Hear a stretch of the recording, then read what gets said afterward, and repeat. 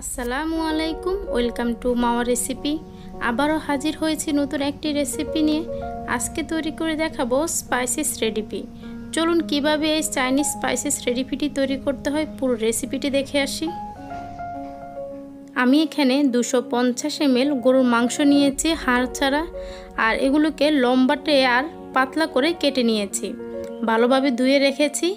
এখন এর সাথে আমি মশলাগুলো অ্যাড করব। দিয়ে দিব ওয়ান স্পুন আদা রসুন বাটা আর দিয়ে দিব ওয়ান স্পুন জিরা, ধনিয়ার গুঁড়া। Half spoon garam masala one spoon soya sauce half spoon লবণ আর দিয়ে দিব একটি ডিম। আমি হাত দিয়ে সম্পূর্ণ মশলাগুলো মাংসটির সাথে মেখে নিব। ভালো করে মেখে নিতে হবে যাতে প্রত্যেকটি মশলা মাংসটির গায়ে লেগে থাকে। এখন দিয়ে দিব হাফ টি স্পুন লাল মরিচের গুঁড়া আর দিয়ে দিব দু টেবিল চামচ কর্নফ্লাওয়ার। কর্নফ্লাওয়ার দিয়ে আমি আবারও আলতো হাতে মেখে নিব। মাখানো হয়ে গেলে আমি 10 মিনিটের জন্য রেস্টে রেখে দেব। অন্যদিকে একটি কড়াইতে তেল গরম করে নিব। তারপর আমি একটি একটি করে বিপগুলোকে দিয়ে দিব। বিপগুলোকে একটু লাল করে ভেজে নিব।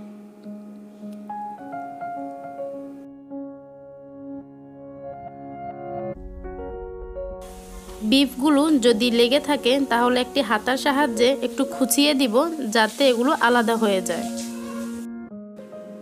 বিফগুলো বাজা হয়ে গিয়েছে, এখন আমি এগুলোকে তুলে রেখে দিব। অন্যদিকে পুরো একটি গাজরকে আমি পাতলা এবং লম্বাটে করে কেটে নিয়েছি। একই পাত্রে আমি তেল কমিয়ে নিয়েছি, তিন টেবিল চামচের মতো তেল নিয়ে রেখেছি। এখন আমি দিয়ে দিব ওয়ান স্পুন আদা রসুন বাটা। আদা রসুনকে আমি একটু ভালো করে ভেজে নিব যাতে তার স্মেলটি বের হয়ে আসে।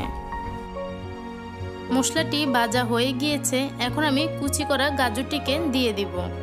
গাজরটি মশলাটির সাথে ভালোভাবে মিশিয়ে নিব আর গাজরটিকে আমি এখানেই ভালো করে সিদ্ধ করে নিব। গাজরটি সিদ্ধ হতে থাক, অন্যদিকে একটি সস তৈরি করে নিব।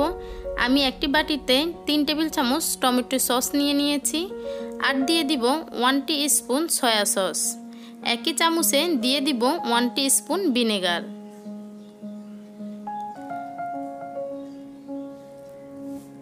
আর দিয়ে দিব দুটি কাঁচামরিচ কুচি। আর দিয়ে দিব স্বাদ মতো লবণ। লবণটি একটু বুঝে দিতে হবে কারণ সয়া সসে লবণ আছে। সবগুলোকে একসাথে মিশিয়ে নিব। এদিকে গাজরটি আমার পুরোপুরি সিদ্ধ হয়ে গিয়েছে। এখন আমি যে সসটি রেডি করে রেখেছি, তা দিয়ে দিব। সসটি দিয়ে আমি গাজরটির সাথে ভালোভাবে মিক্স করে নিব। দু এক মিনিট মতো এটিকে রান্না করব। তেল উপরে বেশি উঠলে ভেজে রাখা বিফগুলোকে আমি দিয়ে দিব।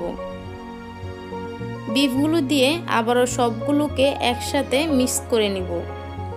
আরও দু এক মিনিট এভাবে রান্না করে নেব। এখন কিন্তু চুলার আঁচটি কিন্তু হাই হিটে থাকবে। হাই হিটে আমি এই রান্নাটি করে নিব আর অনবরত নাড়তে হবে যাতে নিচে লেগে না যায়। আমার রান্নাটি হয়ে গিয়েছে, এখন আমি সার্ভ করব। এই তো তৈরি হয়ে গিয়েছে চাইনিজ স্পাইসিস রেডিপি খুব সহজে বাসায় তৈরি করা যায়। ভিডিওটি ভালো লাগলে অবশ্যই লাইক দিবেন আর আমার চ্যানেলটি সাবস্ক্রাইব করবেন। পাশে থাকা বেল আইকনটি ক্লিক করবেন যাতে নিত্য নতুন ভিডিও সবার আগে নোটিফিকেশন আপনার কাছে পৌঁছে যায়। আজকের মতো বিদায় নিচ্ছি, আবারও নতুন কোনো রেসিপি নিয়ে হাজির হব। ততক্ষণে সবাই ভালো থাকবেন, আমার জন্য দোয়া করবেন। আল্লাহ হাফেজ।